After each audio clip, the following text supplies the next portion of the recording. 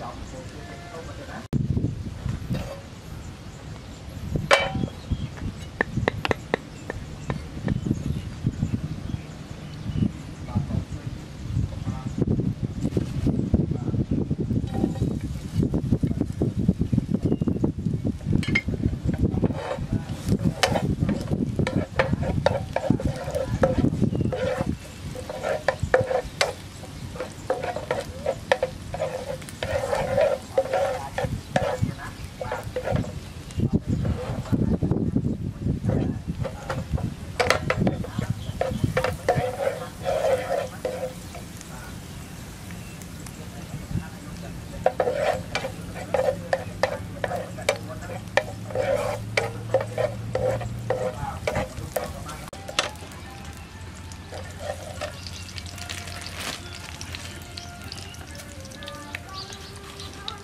Bao nhiêu đã ha.